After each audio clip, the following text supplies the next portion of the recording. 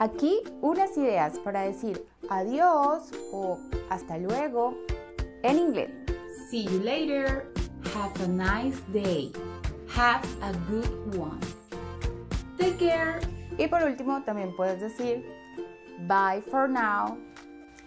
Te invito a suscribirte a nuestro canal y a activar la campanita para que te lleguen cada semana nuestros videos nuevos. Y recuerda, COE es hablar inglés.